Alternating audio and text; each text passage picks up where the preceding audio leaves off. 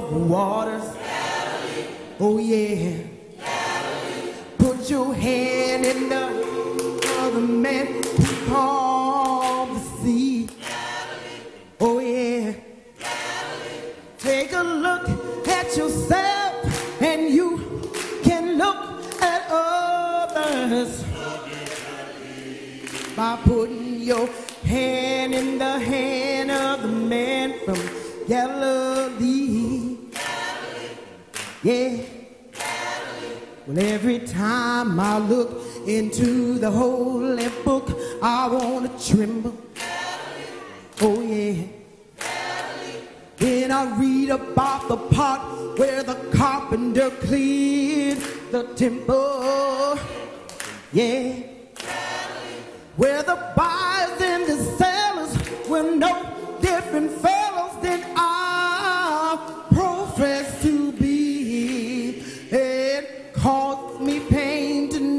I'm not the person I should be. Oh yeah. Well, put your hand in the hand of the man who stilled the waters. Oh yeah. Well, put your hand in the hand of the man who calmed the sea. Yeah. Well, take a look at yourselves and you Lord, by putting your hand in the hand of the man from Galilee. Oh, yeah. Well, he's my man from Galilee. He's coming to save us one day, and he ain't gonna have nobody in his way.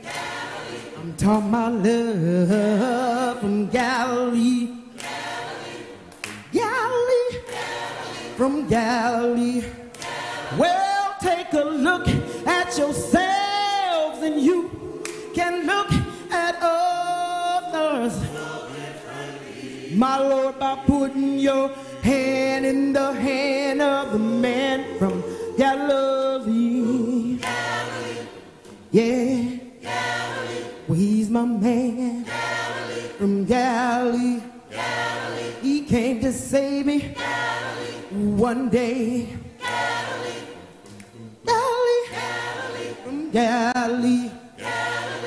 Take a look at yourselves and you can look at others, Lord. My Lord, by putting your hand in the hand of the man from Galilee. Oh, yeah. Galilee. He's the man from Galilee. He come to save us one day. And he ain't gonna have nobody in his way. I'm talking about love from Galilee. Galilee. From Galilee. Galilee. What a man, what a man, what a man, what a mighty good man from Galilee. Galilee. Galilee. Galilee. Galilee.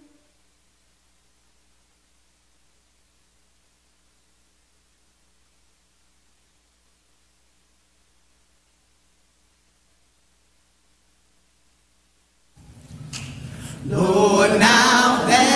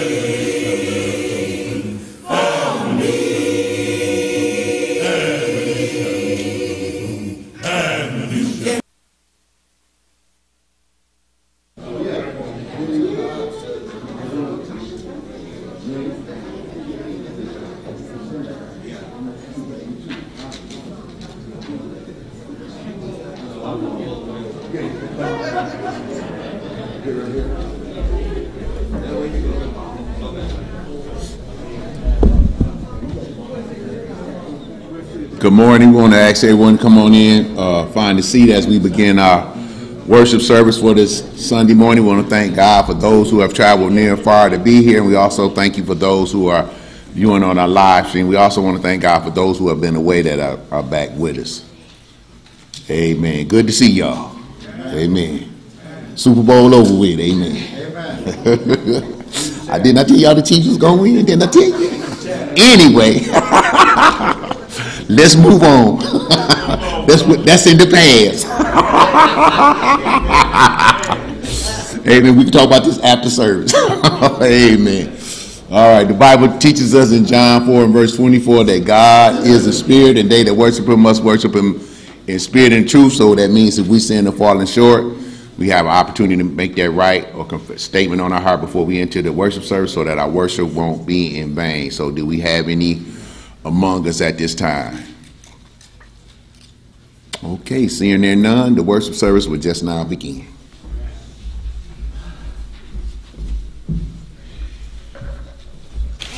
The church say amen. amen. Join me in the singing of I Love My Savior Too. I know you do, right? Amen. I love my Savior too. Jesus, my heavenly King, loves me, I know. Praises to him I sing, onward I go. Closely to him I cling, blessing still flow. And I love my Savior too. Oh, I, I love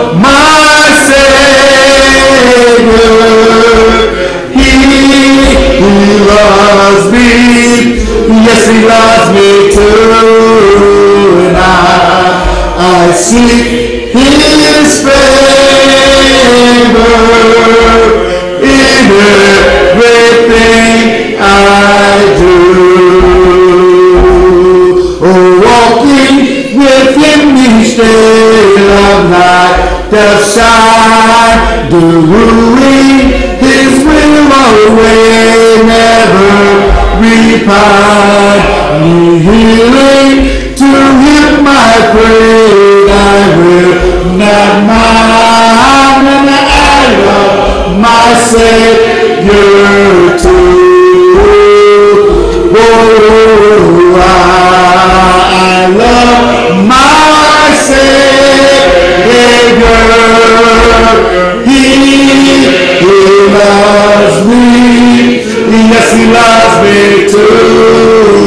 And I, I see his favor in everything I do. Happy to serve my friend, Nemo, his arm. Oh, rapture will never end, nothing around. Voices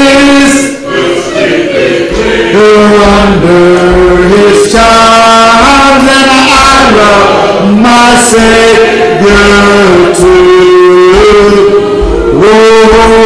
I, my. He loves me.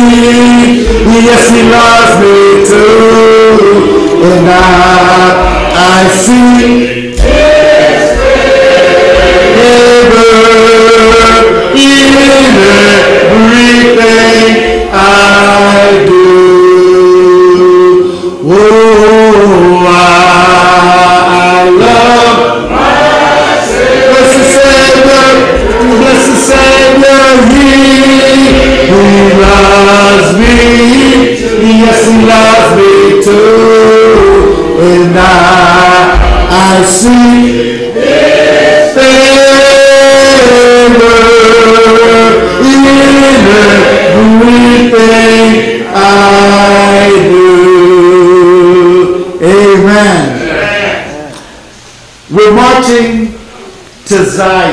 This, this is an interesting time of our lives. And I say interesting because previously years past before pandemic, we would be tied into our songbooks or maybe just trying to go off of memory or trying to go to some old spiritual songs and now we sort of get tied into some of these digital follow-throughs. But oftentimes we still have to rely on what we know about our service to God. We're marching to Zion is one of those songs. As we march through life, think about God. Can we that love the Lord and let our joy be known? Join in a song with sweet accord. Join in a song with sweet accord and thus surround and thus surround the throne. Who am marching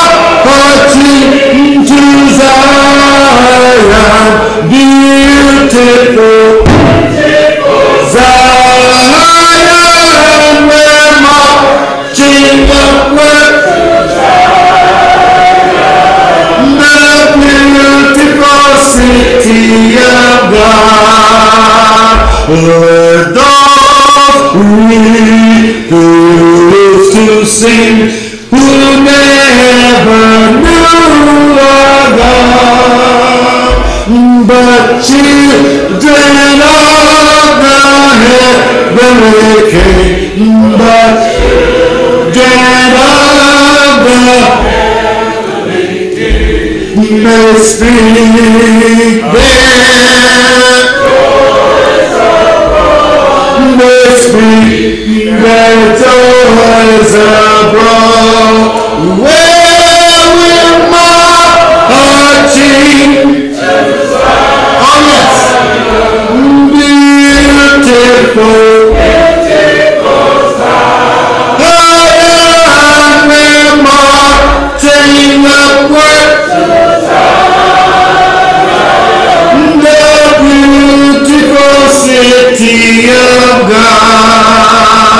God. Then song abound and every be. We're marching through Emmanuel's ground. We're marching through it ground to fair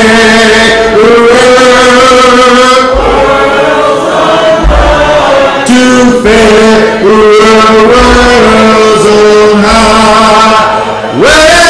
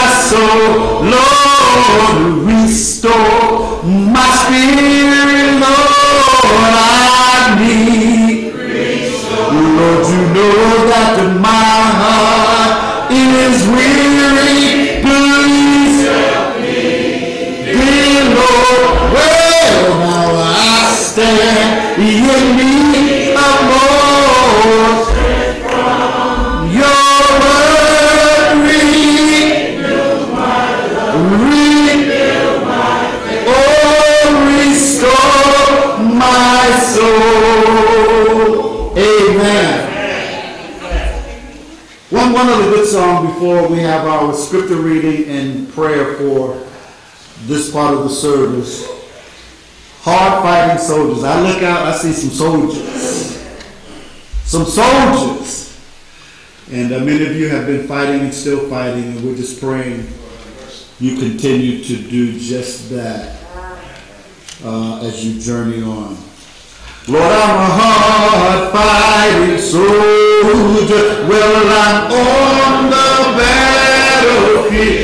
Yes, I'm a hard fighting soldier. Well, I'm on the battlefield. Well, I'm hard fighting soldier, and I'm on the battlefield, and I'll keep on bringing souls to Jesus by the service that well now Can walk right, and talk right, just sing right, and pray right while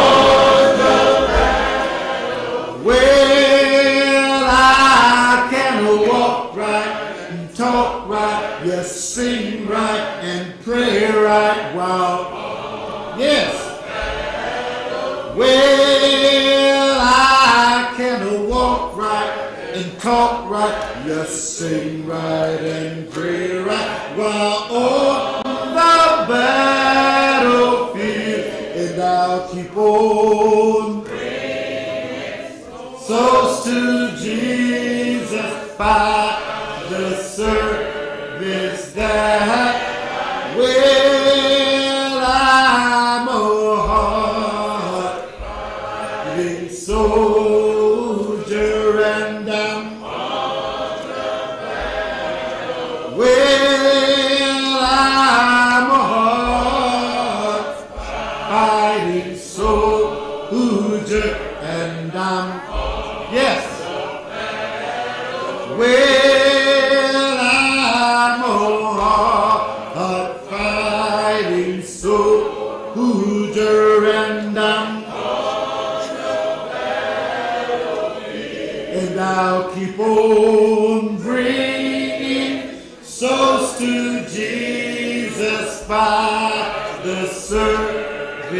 that He well, I have taken the master's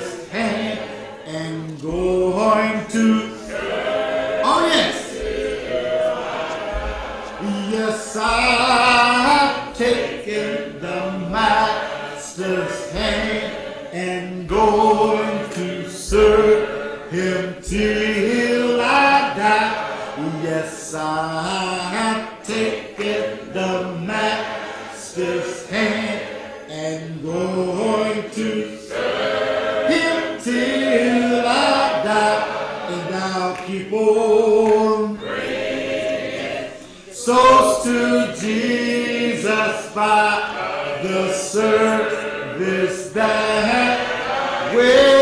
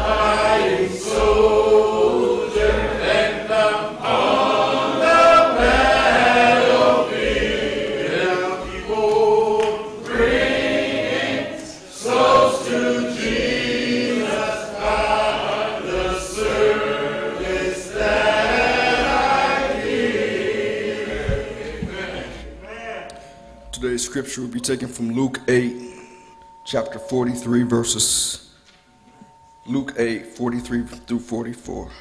Once again, that is Luke 8, 43 through 44.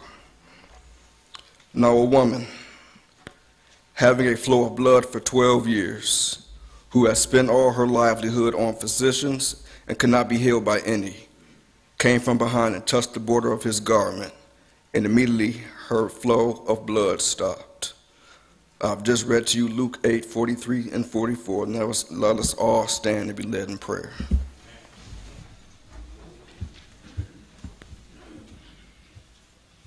Let us go to God in prayer.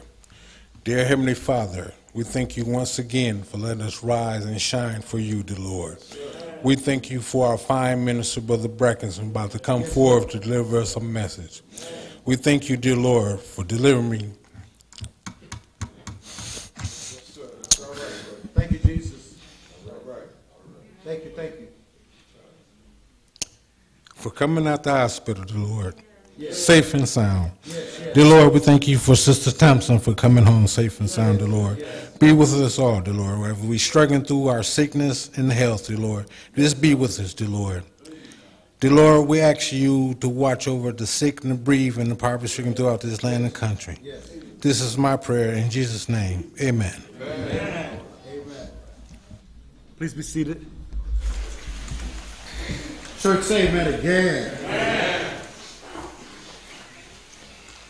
I, I didn't. I didn't give to uh, the folks in the audio room the next song because it just popped up in my head.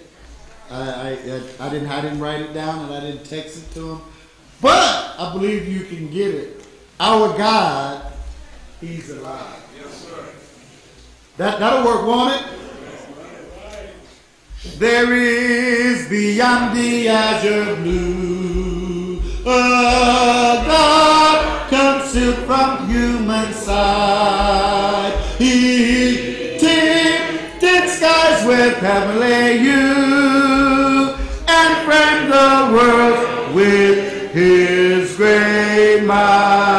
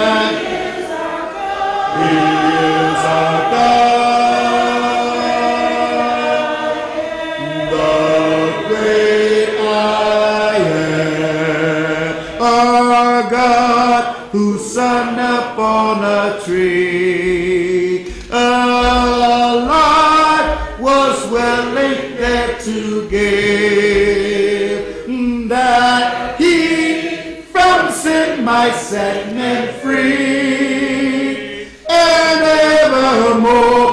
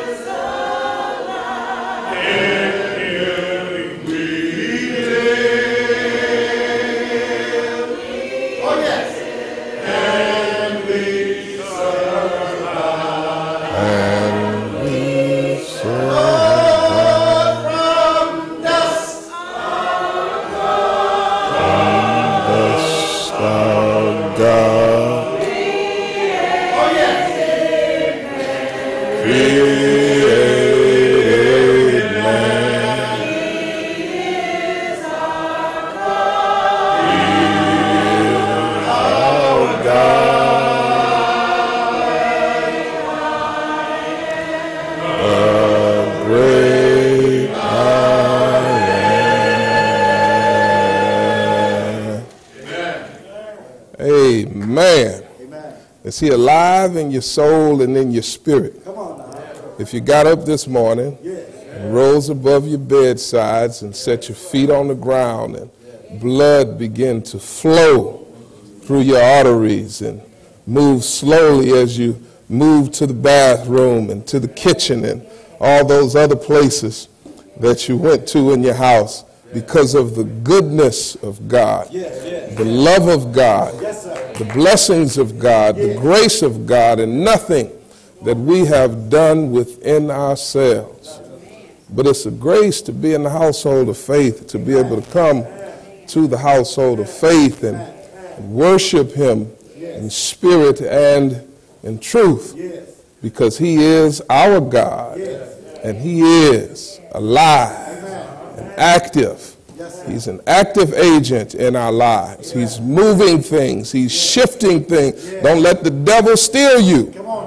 He'll make you think God is somewhere off not paying no attention, but He's right there, moving mountains for you and working things out and placing people and doing things because He is our God. Amen.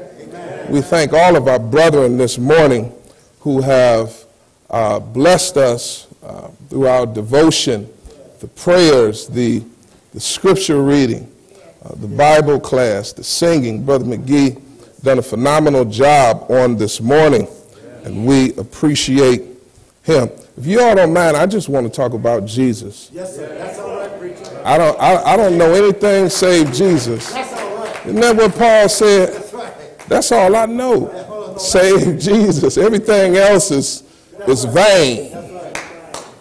And so I'll read the text for emphasis sake. I'll read a few extra verses. Uh, Brother Aaron did a phenomenal job.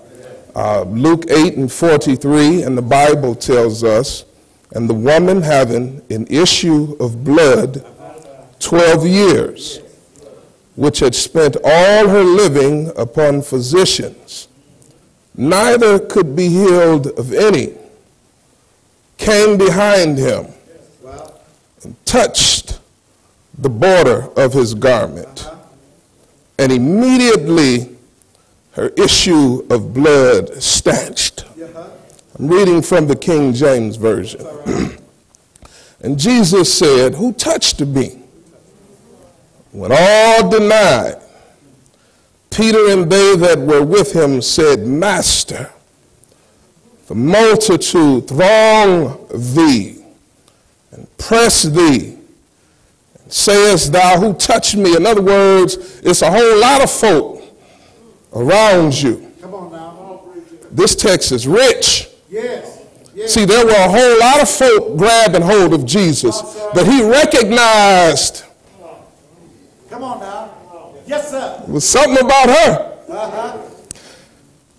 Jesus said, Somebody have touched me.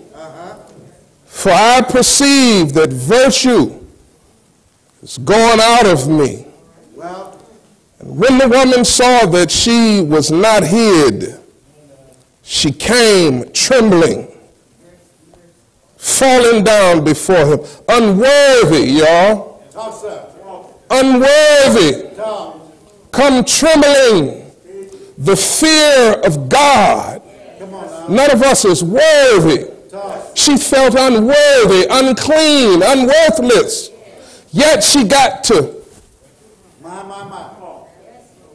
falling down before him. She declared unto him before all the people for what cause she touched him and how she had been healed immediately. Testimony time. Verse 28. And he said unto her, Validation time. Daughter. See, if don't nobody accept you, if God says daughter and son, don't worry about no post, That's right. That's right. That's right. no like. That's right. I want to help somebody here today. He said daughter. He validated her. He said, be of good comfort. Thy faith have made you whole. This is what we get here in this text, church. Y'all with me here this morning? Woman who was solely moved by, by faith, with all odds completely against her. She found her way through the unknown. In spite of everything that was possibly against her, when she saw Jesus, Yes, sir. she saw some light at the end of the tunnel. There's a whole lot of people clinging to and touching Jesus. But what are the ingredients of the different touches? She's exhausted, desperation. You've blown it and have no place to turn. The one constant in the equation is Jesus Christ. His love is unconditional. I don't care how low you go, how sick you become, how distant you feel. We're told he's right near every one of us. Hebrew writer puts it like this. Now faith Yes. is the substance. Right. See, you got to move in faith. See, everybody want to look for a sign. We want to look for God to move something and blow something up in our faith. No, he says faith, Talk to us, preacher. the unseen, Uh-huh. is what moves you to seek Jesus. Faith is the substance of things hoped for, the evidence of things not seen. To really perceive the power of God in your life, faith must be present. Without faith, it is impossible to please God. And so here in this text, we have this, this, this woman, this afflicted woman with an uncontrollable hemorrhage. Just to paint a picture for you, folks. She was unclean. Well, Nobody touched her, or anything she touched, she could touch. She was ostracized. She was cut off from society, excommunicated from religious observances. If she was married, she was to be divorced. The fact of this woman's uncleanness had sunk deeply into her mind. She had been cut off from society and family and left alone for 12 years. 12 long years. She had gone to every doctor she knew or had ever heard about, and not one of them was able to help her. She was now poor. She had spent all her money, exhausted all of her resources, and still couldn't find a cure. She had daily experienced the pit of loneliness, unacceptance, and low self esteem. She was nothing even in her own eyes. Therefore, in approaching Jesus, she felt embarrassed and unworthy. Her hemorrhaging was a, was a personal and intimate matter. Sometimes folks deal with some personal.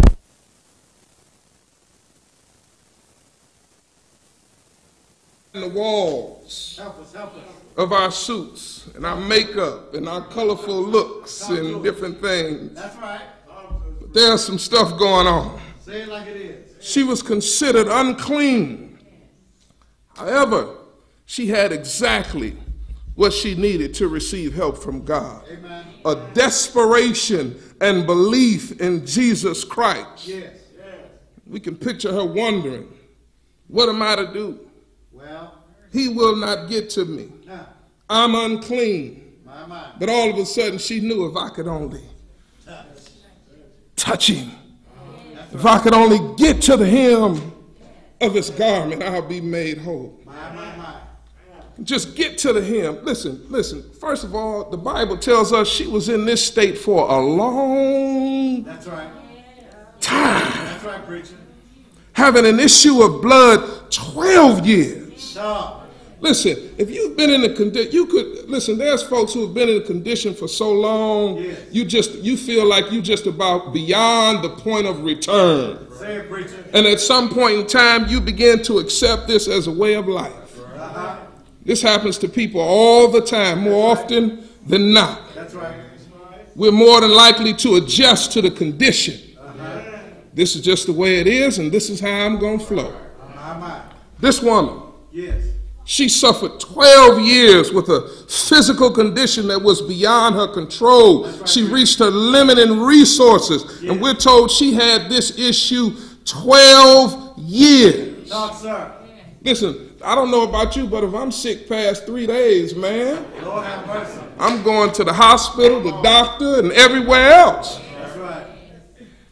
Under the law, she was considered ceremonially unclean. My, my, my. She had a social problem as well as a physical issue. Yes. You know how folks are. We live in a day and age. That's right. Number one, people thrive on acceptance. Number two, if you're sick, don't nobody want to be around you. You let somebody cough or sneeze in a public place. Listen, if you've had COVID, they want to know have you had your booster shots and everything else before you come around me? This woman, church, she was at a crossroads. I'm talking about when you've reached your end wits. Mark's account in Mark 5 26 read, and had suffered many things of many physicians and spent all that she had and did not get better. Mark says her condition grew worse. Yep. She spent all she had. There comes a time when you have exhausted all Yes. of your resources. Right. Now, now Luke's account, Luke is a physician. And so when you read Luke's account as a physician, he may be a little biased on this. But she went to doctor after doctor, and they couldn't do anything about it. And the purpose of this detail is not to give to the form of us as unfair doctor fees and practices. No, no, that's not the point here. The point is listen, could nobody help her? Could nobody help her at all? Listen, sometimes you go to the doctor, one surgery lead to another, then another surgery lead to another, and you still limping and hopping and skipping, and the only thing you have is doctor bills. Somebody know what I'm talking about, right? Yes, sir. All of Jesus' miraculous healings of human disease point to one undeniable truth. And this truth plagues all of human history. That's right. That's For all, Romans 3 and 23, for all have sinned yes. and come short of the glory of God. Every human in history that reached the age of accountability has violated the will of God. Talk, Sin is, the, is man's greatest uncurable disease. The universality of sin, all of man's problems, physical, spiritual, can be traced all back to his sin problem. Problem is, we treat the symptoms, not the disease. I don't care what you do to relieve the conscience. He has tried everything imaginable, remedy possible, only to find self words. See, we try to fix ourselves by dealing with everything else. We got to deal with that sin in our life. When a soul is sick today, we often go to different doctors. And we spend a great deal of time and money and are never healed of them. A sick soul may go to the doctor of entertainment, but find no cure. We may visit the doctor of success, but there's no help there in the long run. Some of us go to Dr. Pleasure Dr. Self Help or Dr. Religion can never bring a real cure. You need Dr. Jesus in your life. Dr. Jesus, the wise man said it. Wise man said it best vanity of vanity, saith the preacher.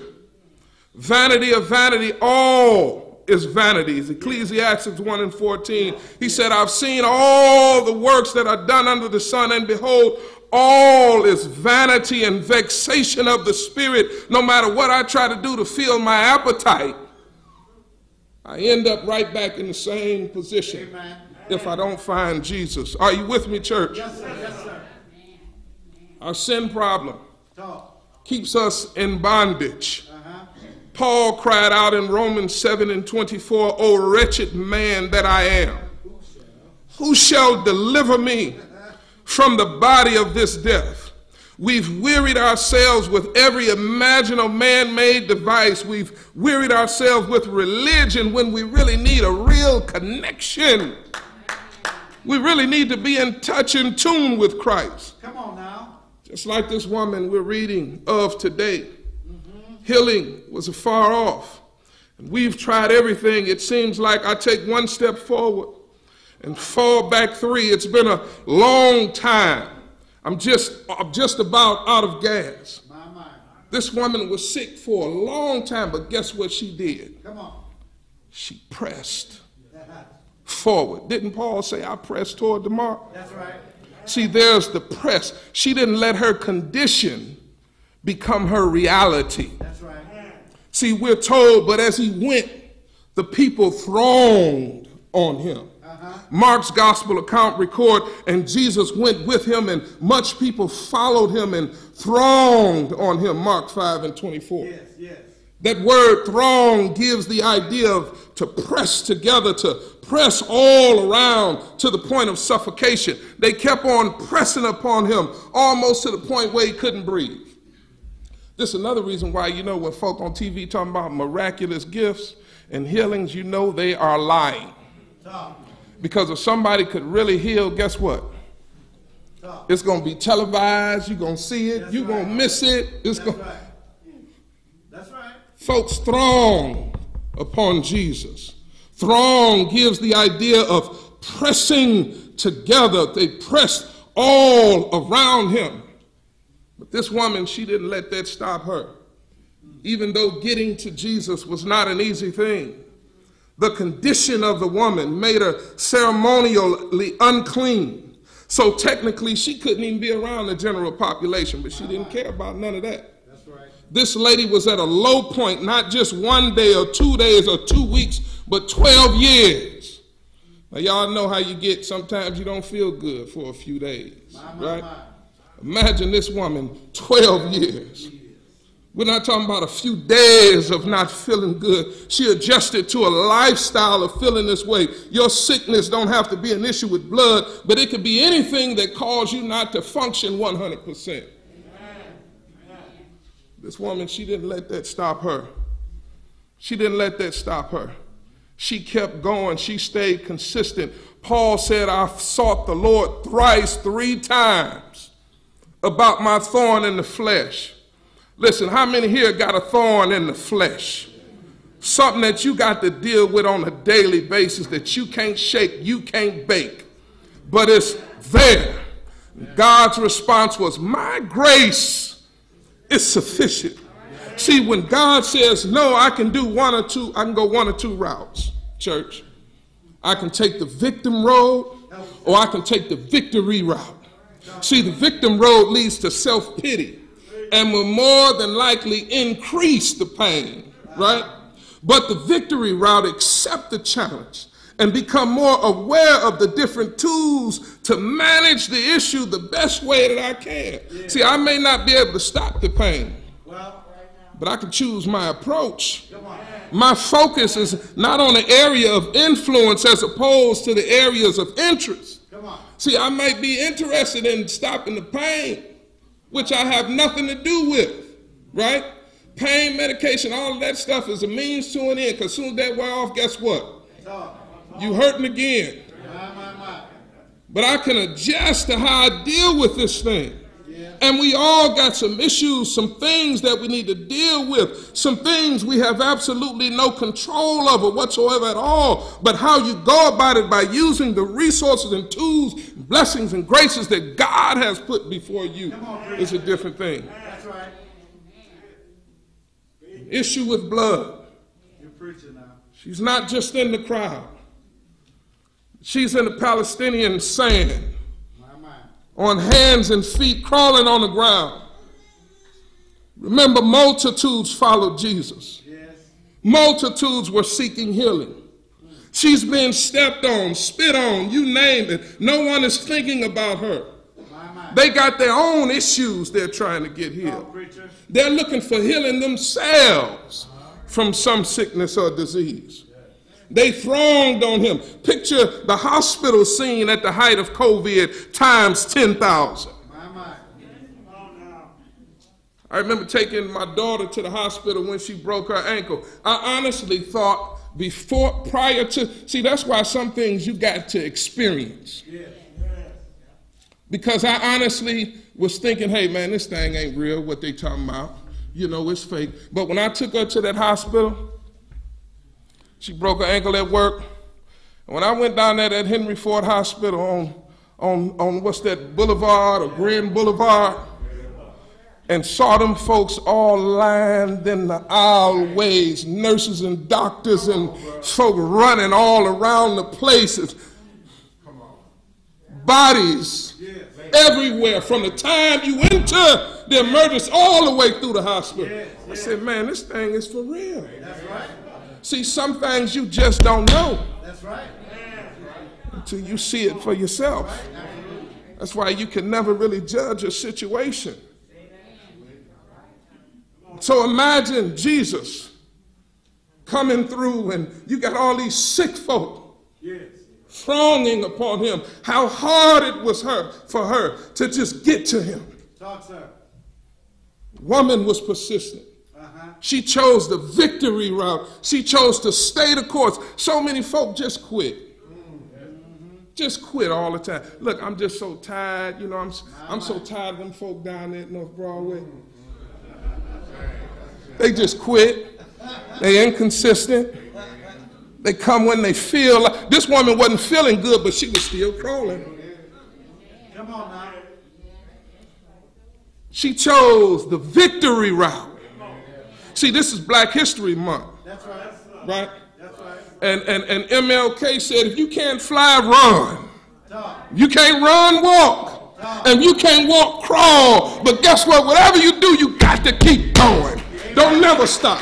Don't care how tough it get, how hard it get, how many mountains you got to climb, you got to keep moving. And at some point, God give you your breakthrough.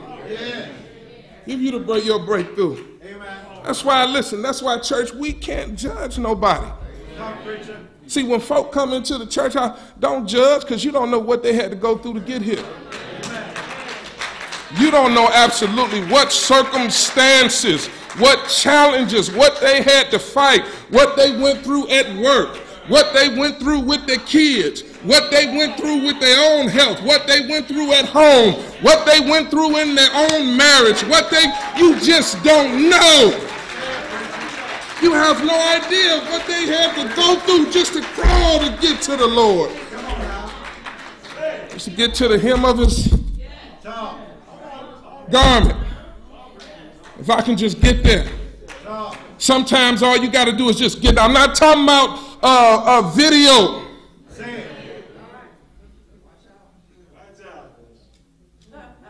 It's nothing like just getting there. Nothing like just getting there. Sometimes all you got to do is just get here. Things will change for you. This woman was persistent against all odds. Here's the thing you got to make your way through the noise. Yes. See, she didn't let the circumstances around her stop her from getting to Jesus. She could have made all kind of excuses. It's too many people. I've been in this condition too long. The doctors can't help. I spent my money. None of those things hindered her. You got to make your way through the noise, church.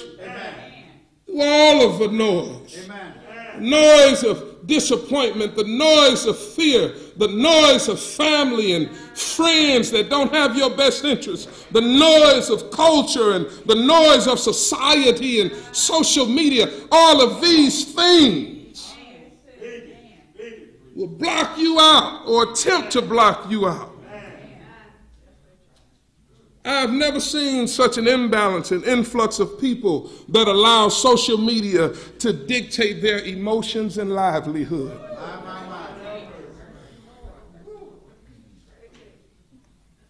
You feeling good one day, and then the next day, one post, you like a balloon.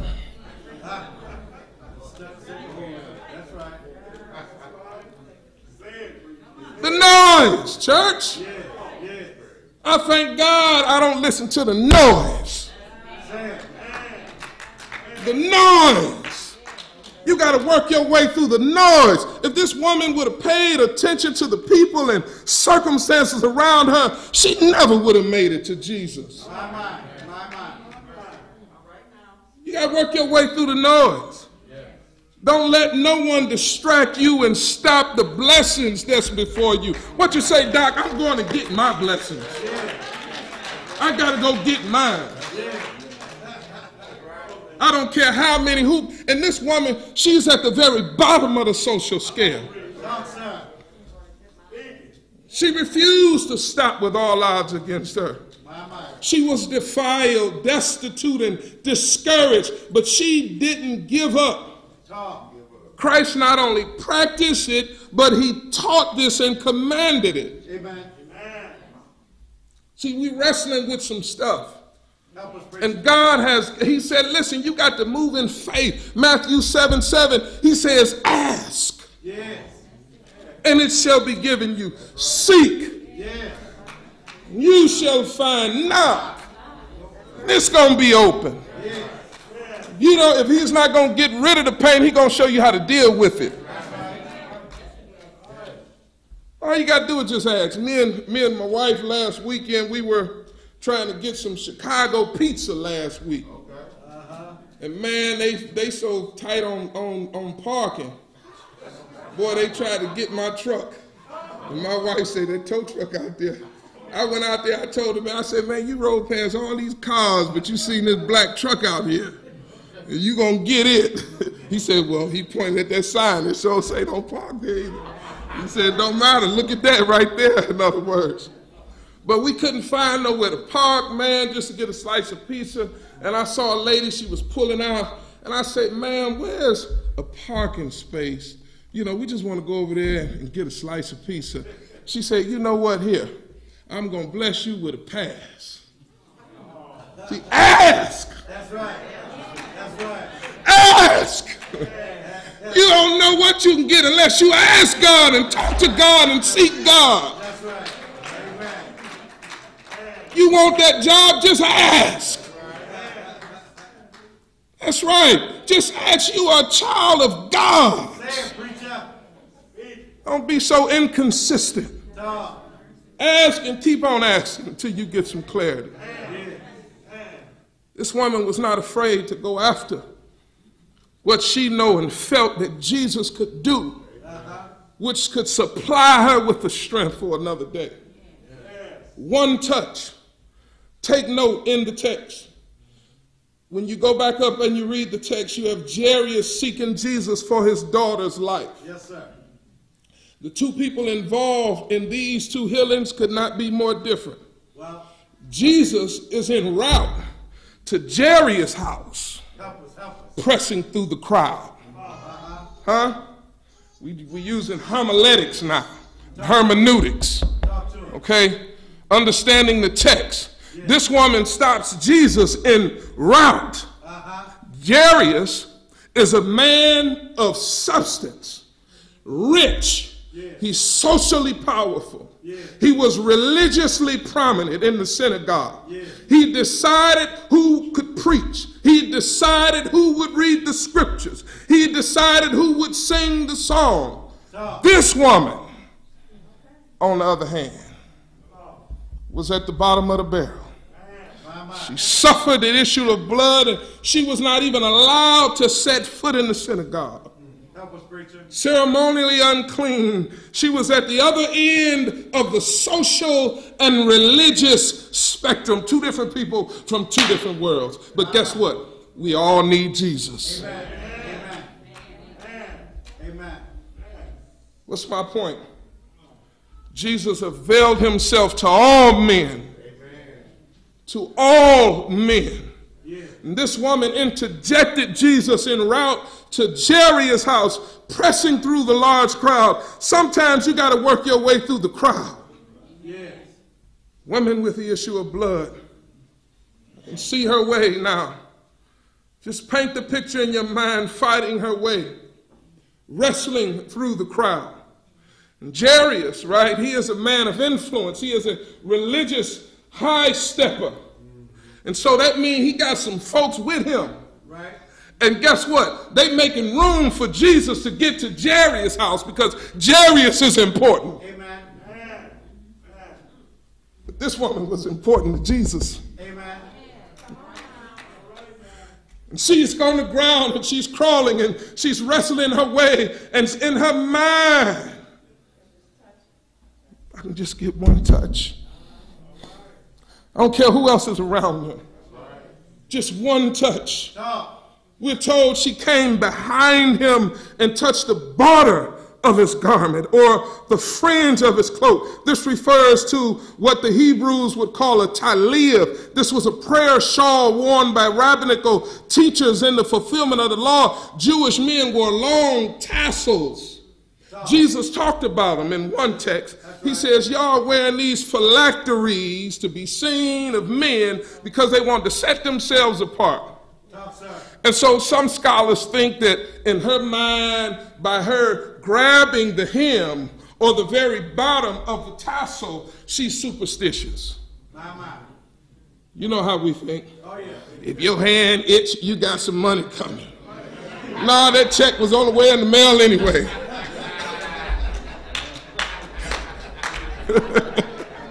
Stop being so superstitious. Right? No. However it is, it was this woman's faith. This woman chose to touch this part of the garment Anyway, whether it was her faith or superstition, but we do know faith was involved because Jesus validated it. This is where, when we read Mark's gospel account, he paints a slightly different picture. In Mark 5 and 27, the Bible says, when she heard of Jesus, Come on now. she heard. Yes. You see, faith comes by. Hearing. She moved on what she heard. Yes. She came behind and touched. Touched. Now, watch this. Let's go a little bit deeper. That word touched, it's not just a mere, but it comes from a Greek term.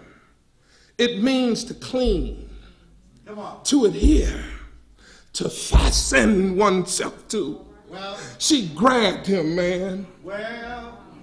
She wouldn't let him go. She didn't just touch Jesus, but she grabbed hold of him. She embraced him. Brother McGee talked about it this morning during our Bible class. the day of the Lord is about judgment and rescue. Come on now. Yes, yes. Yes. She saw Jesus as somebody that could rescue her. Yes, sir. Yes, sir. We're not talking about a merely encounter with Jesus. We're talking about changing, life changing moments. Yes, sir. Yes, sir. Just think about how many people encountered Jesus to no effect. Come on. The young rich ruler had an encounter with Jesus and walked away worse off. Mark 10 and 22, and he was sad. And that saying, and he went away grieved, for he had great possessions. And Jesus walked up to this man and said, Follow me. Come on, preacher. And his life was worse off. He walked away in misery. In misery. My, my. A mere encounter with Jesus is useless. Talk to us. It's about embracing his person, Yes. who he is, and his ability to change the course of our lives. Yes. And how many are guilty of just an encounter with Jesus on Sunday morning? Talk to us. To no change, to no power, no real connection. Many fall out of, follow Jesus out of curiosity and drive to no real benefit from him. Help us. Help us. Not this woman. Talk. She found him and she grabbed hold mm-hmm. of Jesus out of a deep sense of need and out of his power to alter the course of her life. We see the same thing going on in the world of religion today. Yes, sir. Multitudes go to places of worship on Sunday morning. Thousands participate and commune at the Lord's table and leave just as miserable as they came. How many really grab hold of the life changing power of the Savior? Come on, preacher. I'm not talking about fashion, customs, habits, the love of excitement, or the itching ears. How many really go home at peace knowing they have embraced and have been embraced by the Maker? Talk. You need something to grab hold of. Because when the excitement is gone, guess what? On Monday morning. Oh, yeah, when you get up Monday morning and you have to face the reality of your life storms, you're going to need some meat in your belly. Yes, sir. You're going to need some love in your life. You're going to need some grace to carry you through. It's not just a Sunday morning, you are the church. Some Sunday morning is a temporarily escape from reality. My, my. This woman made Jesus a reality in her life. Uh-huh. She said, If I could only touch his clothes, I shall be whole. Mark 5 and 28. Just one touch. Talk. I don't care what kind of turmoil you're facing in your life. All you need is one touch. In some mystical way, God is more than able to work it out for your good. Sometimes He don't take away the pain, but one touch just gives you the veracity to bear the pain. Told that all that live godly shall suffer. Come on now. You got to be in touch and in tune with the Master. Because we're living in a day and age now. You don't have no strong spiritual legs to stand on, no strong spiritual legs, you're frail, you're fragile, and Satan will steal you in a minute. Come on now. You got to have that one touch. Talk to us. And it's that one touch that leads to wholeness. Faith leads to wholeness. We're told, and straightway the fountain of her blood was dried up.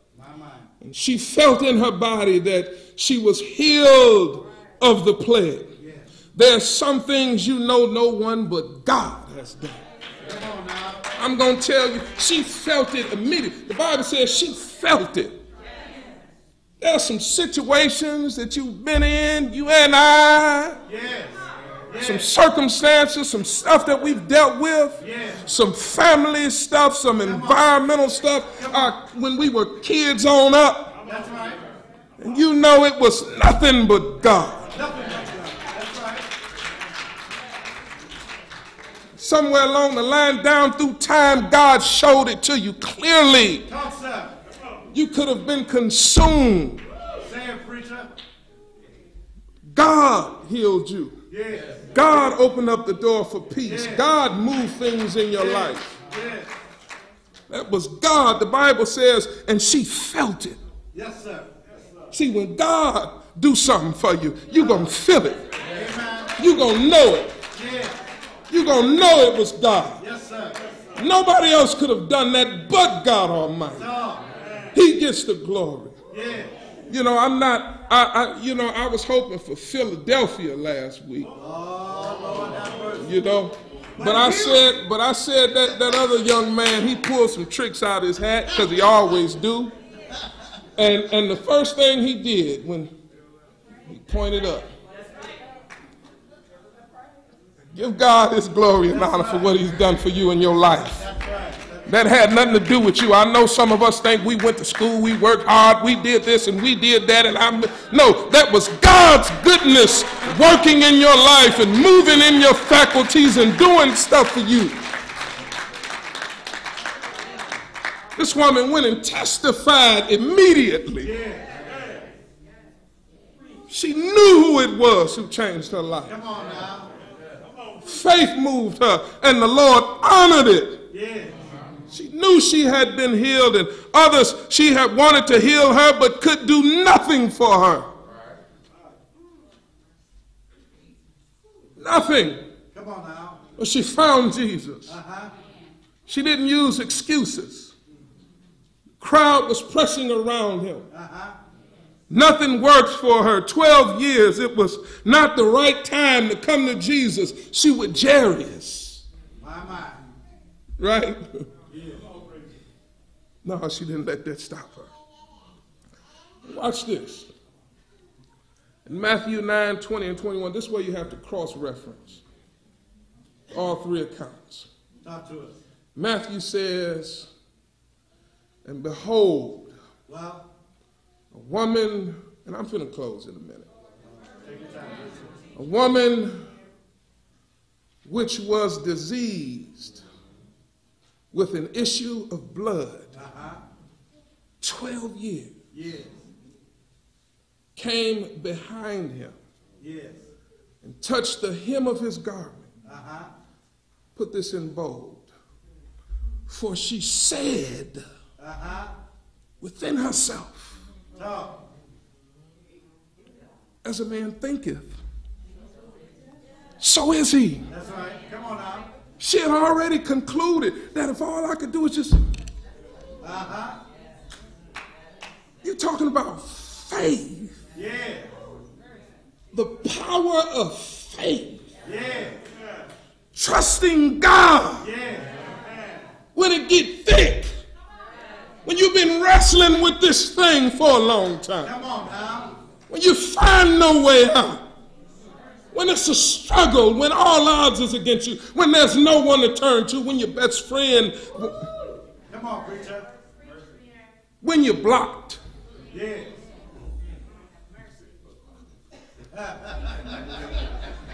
Huh?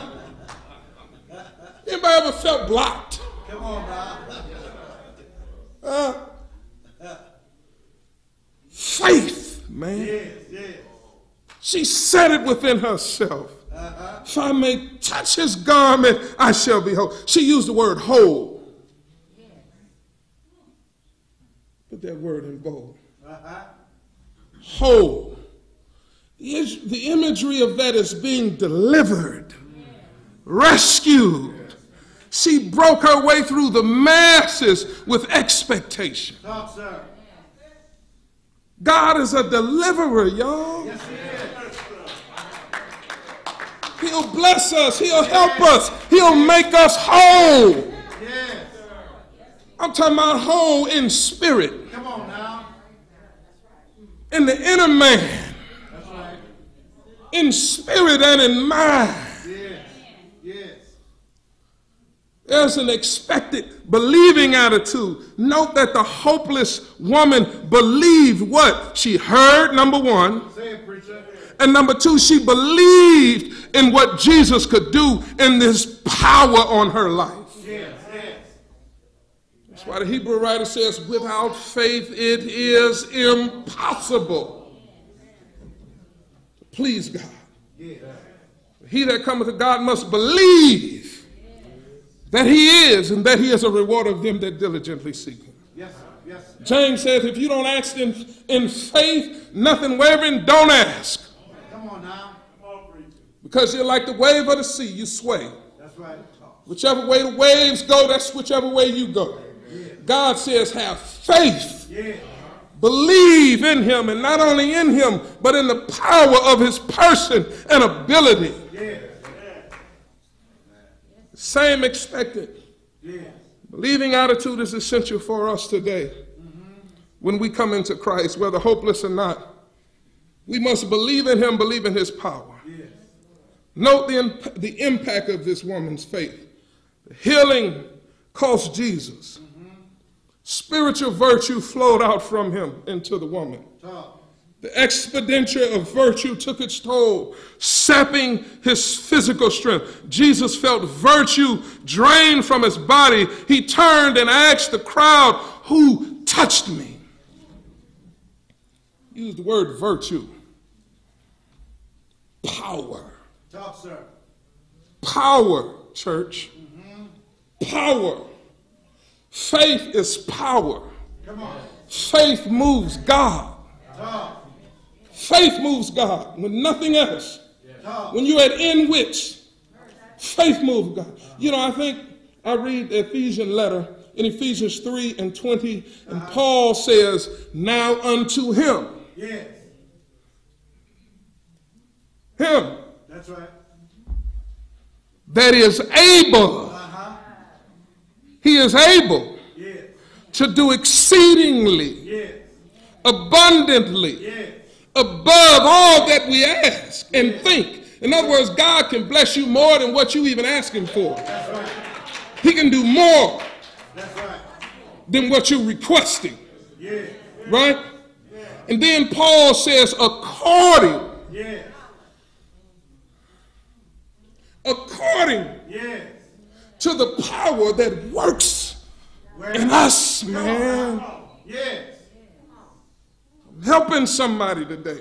Yes, you are, You've been wrestling with something for a long time. Come on now. You've been struggling with that thing.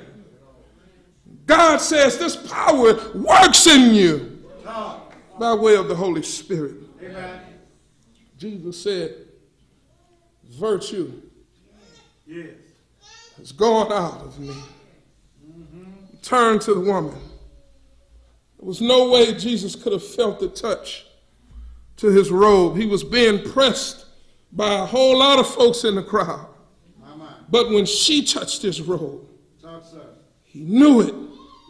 How her faith touched him. It's faith that touches Jesus.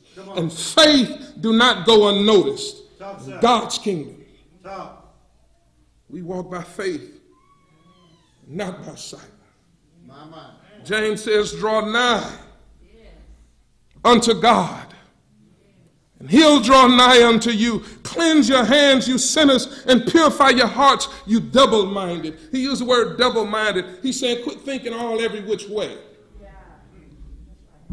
You paying attention to all of that stuff, God's word never changed. Scroll through the Bible like you're scrolling.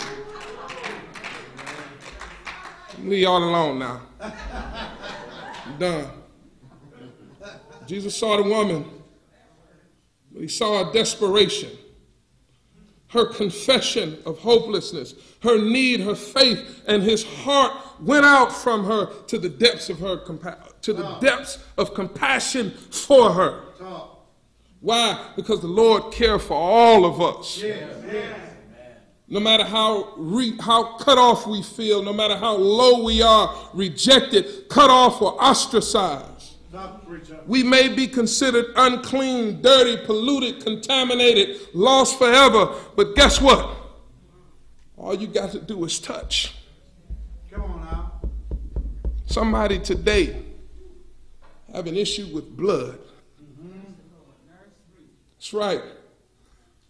My Lord tell me in 1 John 1 and 7, but if we walk in the light as he is in the light, we have fellowship with one another, and the blood Yeah. Jesus Christ, his son, cleanse us from all sin. Yes. Symbolically, her disease is a clear picture of what sin does. It, it cuts us off from God. But he extends his arm of grace and fellowship by faith.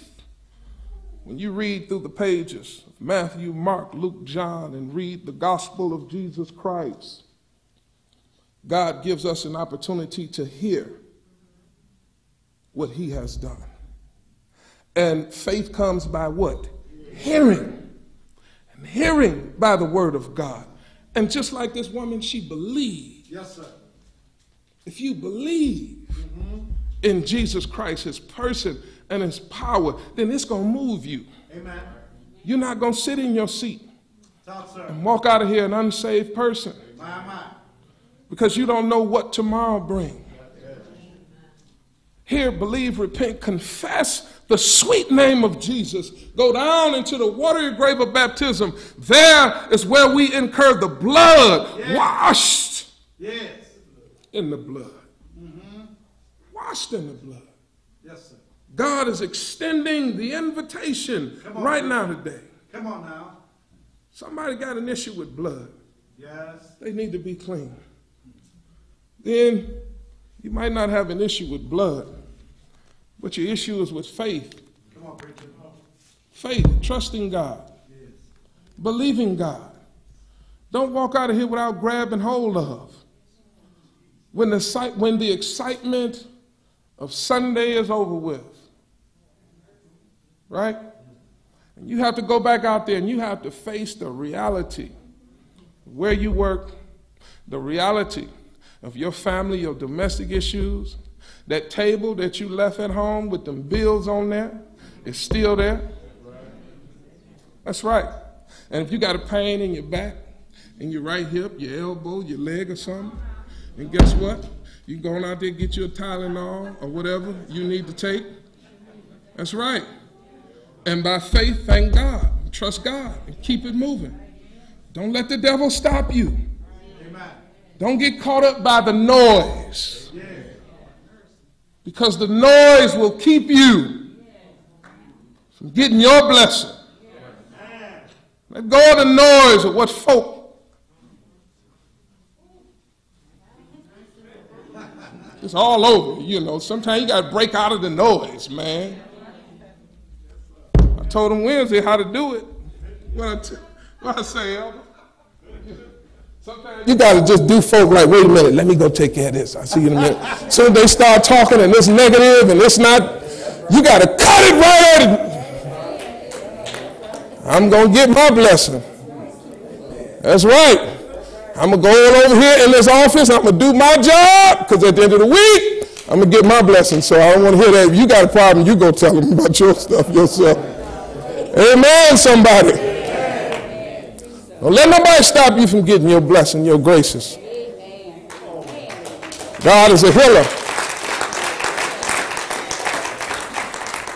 He's a healer, and he not only heal, but he'll make you whole. And when he make you whole, you do like this woman. You go tell somebody else, he did it for me. He'll do it for you. by faith. If you're not a child of God, come on up. You've heard the invitation. If you struggle, you've wrestled with life, and you just need prayer, you need strength, He'll give it to you. Be a victor, not a victim. We're victors, we're not victims. We're not going to be a victim of the adversary. We won. The victory is ours as we stand and sing the hymn of invitation. Holy Spirit, dwell in me, touch mine eyes that I might see. Oh, your goodness, grace, and power, stay beside me every hour. Be my drink, be my living bread. Keep me sheltered, keep me fed. Oh, Holy Spirit, Holy Spirit, dwell in me. Holy Spirit, comfort me. Will let my heart be one with thee. When I'm worried, soothe my mind. Will let me sweet contentment find. May I run this wicked race, filled by your amazing grace. Oh, holy, Holy Spirit, to comfort me. Well, now, Holy Spirit, rescue me. Will set my soul completely free. Beside Jordan, make well in God's bosom, lay my head. Let me live in a brand new place and see my blessed Savior's face. Oh, holy, holy, rescue me.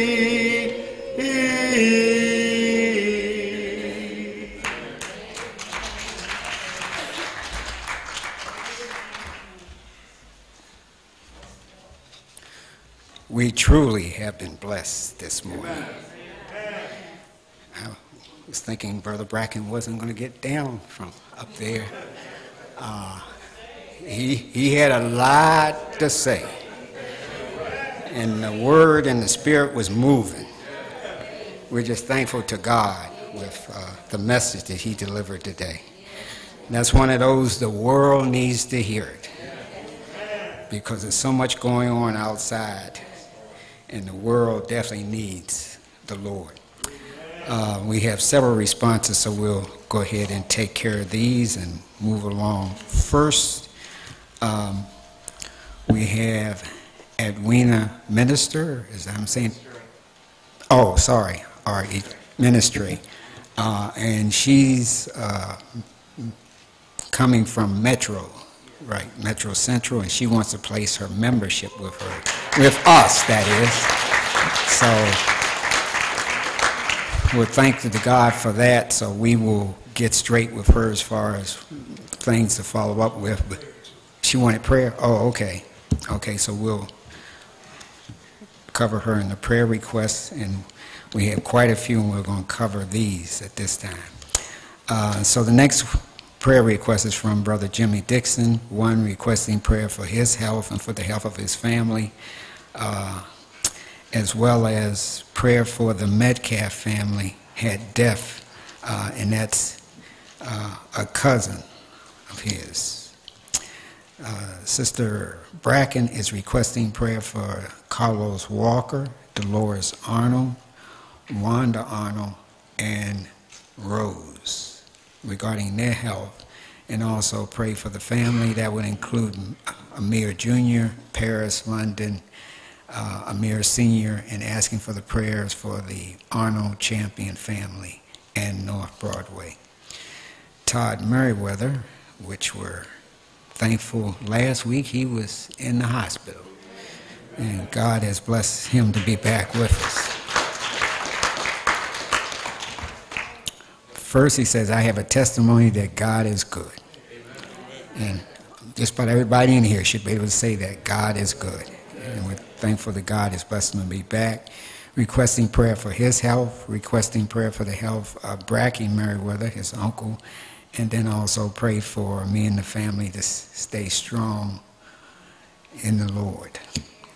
Sister Rita Ingersoll is requesting prayer for her health, also for uh, the health of Brianna Robinson and James Jones III, and pray for her and her family, uh, and my son Justin and his family.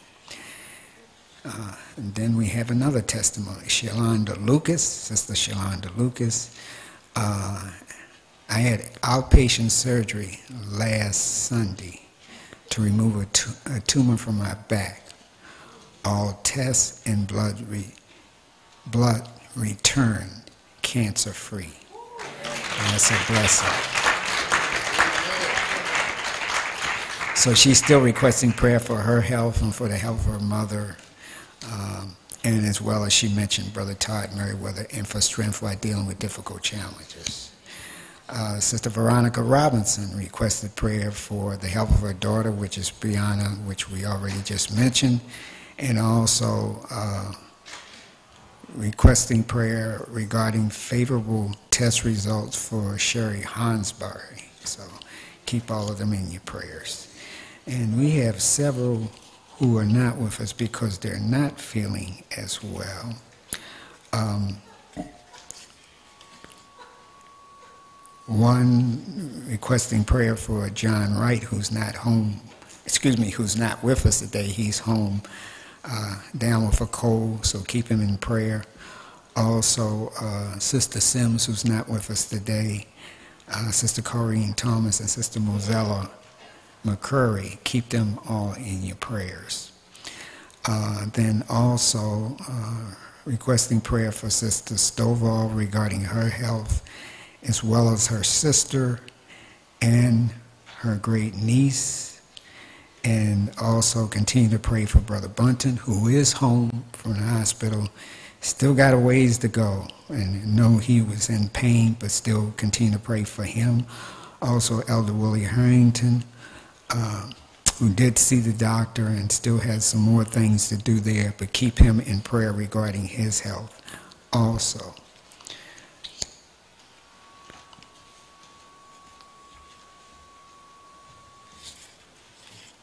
Thought I had one more here. Nope. Um, and then we just want to uh, also keep in mind and pray for all those who are traveling. Um, the Flacks are not with us because they're at Oakland today. Elder Patterson, who went to check on his mother, so keep him in prayer, as well as his mother. Um, and also Sister Clark and her sister, who are also traveling. So we ask that you keep them in your prayers. And then, not that they're last, but um, several are affected by the shooting uh, at Michigan State. It's a lot of young people. But if you listen to this, you have to realize the impact of that. Those doctors, those nurses in the hospital that have to deal with that. The EMTs. You got instructors who really don't even want to go back to campus. One person can do a lot of damage. We need to pray for them, for everyone that's affected. And then when you can think about the young person, all of them, who had to stay hidden for so many hours. And you also think about a young person who was at Oxford, a young person who was at Sandy Hook. So when they were a child, they had to deal with it. And now they are basically adult and they still see the same thing. I know Dr. Bracken sees a lot, but if you look at it, one of the things we need, we need a lot of psychologists, psychiatrists, psychologists, I'm just saying, to deal with all the issues we got in this nation. The fact that we walked in here today says we are blessed. And that message is a powerful message. So at this time, we're in a position where we can pray for one another. So we're going to offer a word of prayer so we can continue on with the service and then realize how blessed we are to be here today. Shall we pray and give thanks? Our Heavenly Father, as we come, we're just so grateful and thankful for your love, mercy, and grace. We come asking you for forgiveness for those that requested, as well as for each and every soul that's in this building. We have so much to be grateful and thankful for, but we also realize we're not worthy of everything you blessed us with. We pray at this time for all those that made requests regarding health, whether it be for themselves or loved ones. And as Dr. Bracken taught in that message, realizing it could be a short time or a long time. But if we put our faith in thee and get closer to thee, that you will take care of us, whichever way things go. We pray for those who are dealing with challenges in their lives. We thank thee for those who had testimonies. It's just another example to show how blessed we are. We pray for those who are traveling. We ask that you be with all of them and bless them with traveling grace and bless them to come back and find everything in proper condition. We pray for those who are dealing with challenges in their life, whether it be job, could just be with other family members, that you just bless each and every one of us to realize that no matter what the situation is, you're still there with us. We pray for those who have lost loved ones. We ask that you bless them and bless the everyone as far as in this nation that are impacted by so many different types of shootings. Um, whether it be them personally, whether it be a loved one, a friend, but we also think about those who've lost their lives, but we also know we got some who haven't lost their life, but their life is permanently changed. We pray for those individuals who are still in the hospital. And we know you have the final say, but they seem to be just hanging on. And we ask for your grace and mercy upon them and their families as well. We ask that you just be with us. Again, we want to say thank you for just blessing us to even be able to get out of our beds and come here to hear your word, to sing these songs, to be able to offer praise and ask forgiveness for you on the Lord's day. We ask these blessings and we give these thanks in our son Jesus' name. Amen. Amen.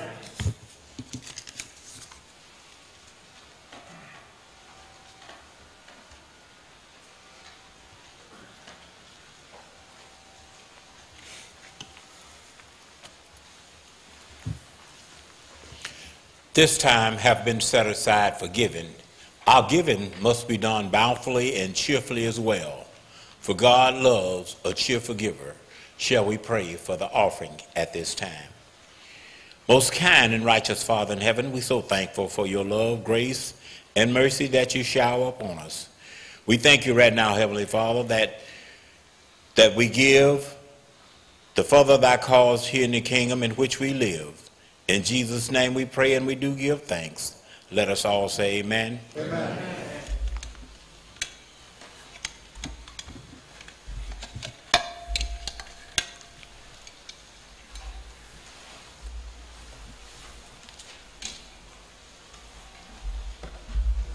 Leaning on the everlasting arms.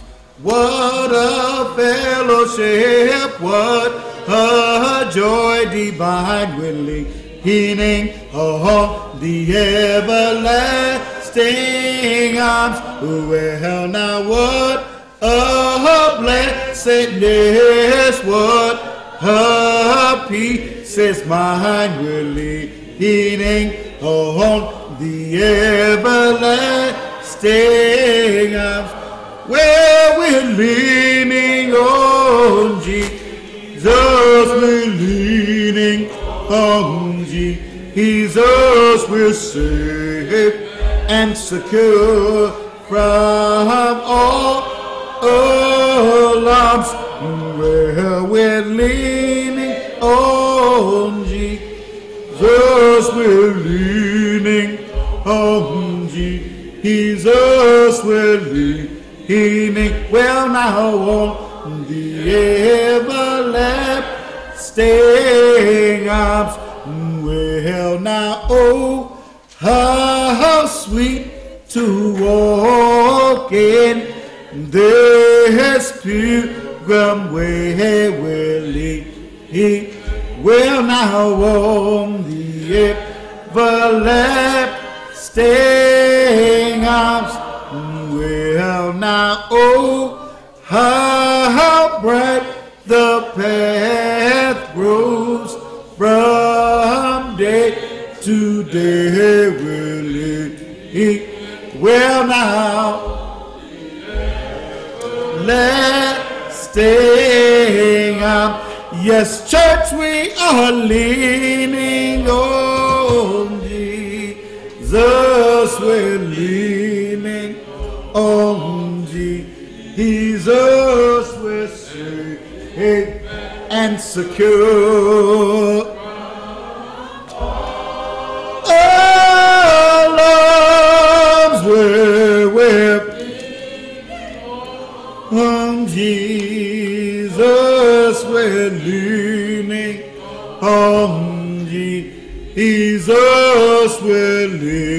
Leaning. will now everlasting arms. So we prepare our hearts and minds for the privilege to commune with our Lord. Sing a few verses of He Loved Me So, and our brethren will be coming shortly. Why did my Savior come to earth and to the humble go? Why did he choose a lowly birth?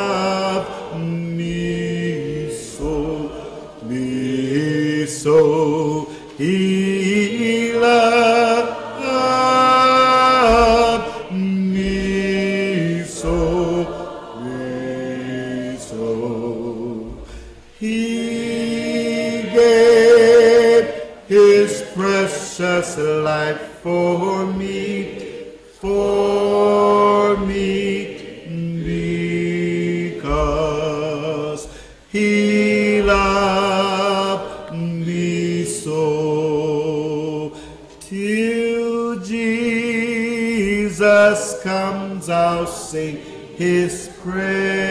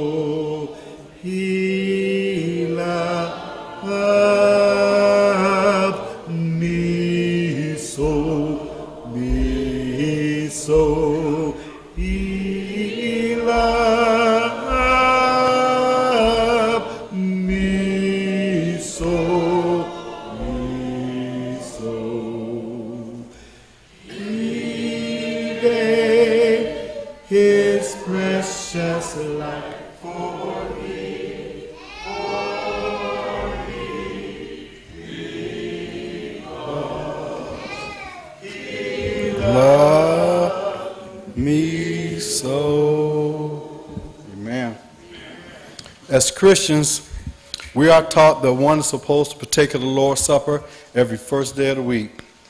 The Lord's Supper is to be observed as a sweet memorial of the greatest, vi- the greatest sacrifice ever given to mankind. We have to remember that Jesus died on the cross for our sins, and through his suffering and death, we might have a right to the tree of life and have it more abundantly. In 1 Corinthians chapters 11 through 24, Jesus, 24 through 25, Jesus said, This bread is my body. This cup is the New Testament in my blood. This do ye in remembrance of me. We are to examine ourselves to see if we are worthy to partake. If so, we may eat and drink. If not, those who eat and drink unworthily do so to their own condemnation. This is found in 1 Corinthians chapter 11, verse 23 through 29. Let us now give thanks for the body and blood of the Lamb. Our God and our Father in heaven, we pray at this time, giving thanks for this opportunity to commune with you, dear Father, according to your will and your way. We ask you, dear Father, bless the cup, the bread, and the cup, dear Father, accordingly. In Jesus' name we pray. Give thanks and ask these blessings. Let us all say amen.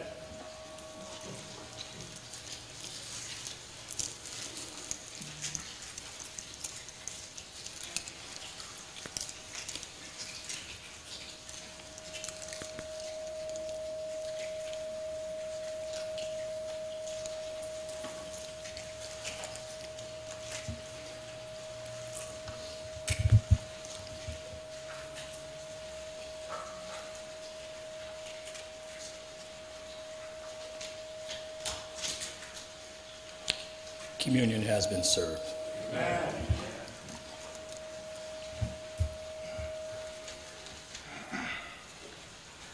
Again, we want to thank our brethren for the devotional aspect of our services. The brethren always do a great job.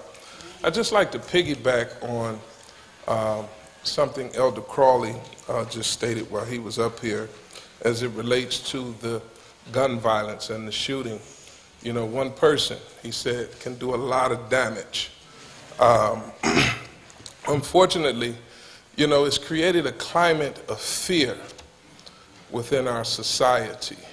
And I have experienced a lockdown of similar. I don't know if you recall last year the security guard that got killed at the mental health clinic.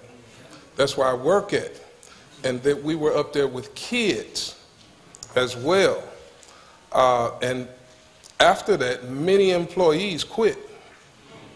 Mental health workers, psychiatrists, psychologists, doctors never came back because of that. My point is, we should not live in fear, but we need to be watchful. Paul would say, walk circumspectly, right? Redeeming the time. You know, we just have to be aware, be alert of what's going on around us. Fear is of the devil. Fear is of the devil. I will not be afraid to get in my car and go to the store, to come worship, to go to work. I will not allow fear control me. But I am going to be watchful. If I see something that looks funny, I'm going to highlight it, right? And so we just want to be watchful of everything that's going on around us. Let's not just be out and be around just in space in our own world, you know. Let's understand what's going on. Keep those families. Uh, uh, those situations are traumatic. They are traumatic. I still haven't walked through that hallway. And I used to walk through that hallway every day going to my car, right? Where that young man got killed where I work. You know, it's just me. You might say it's superstitious or whatever, but I don't have to go that way. I can go another way now, right? Uh, you know. Um, but it's not about fear for me. And so uh, we just want to be mindful. I want to uh, remind, uh, first of all, we want to thank our visitors. You are honored guests. We thank you. If you're sharing with us for the first time through our live stream or you're here, we thank God you came to worship with us. And we're praying that this has been a good experience for you. And if there are any questions about anything, please come see myself or the leadership. We'll be glad to share with you. Uh, we just want to invite everyone back uh, for Wednesday Bible class. Continue to pray for us. We will be, uh, as the leadership uh, make decisions as fading in Sunday morning Bible class attendance and um, maybe perhaps Sunday evening worship service. We just want to pray that we can have a smooth transition and have your support behind it at the same time. Thank God. Y'all all right? Oh, yes. God is good. Amen. Let's go to God in prayer. Dear Lord, we thank you for blessing us on this day. We thank you for your word, uh, which is designed to enrich our souls and spirits, dear God. And we're praying that as we leave here today, we will leave here having uh, been in touch and in tune with you as we go out and face a troubled, dark, cold world that cares for none of us, dear God, or our belief in you. But we trust in your covering. We trust in your blessings. Uh, we trust in your light upon our lives. Help us to be lights. Help us to be the blessing that can redirect dark souls that seek to do evil in a world, that seek to serve the devil. Uh, help us be that light that can uh, help them find a better way to deal with their uh, challenges and issues, as well as help us to better deal with ours. Again, we thank you for this opportunity to come out and worship you in spirit and in truth. It is all about you, dear God. And it is our prayer that this worship service have been pleasing and acceptable in thy sight, dear God, uh, that you may get the glory and all of the honor. In the mighty name of Jesus, we're praying and asking all things. Amen. Amen.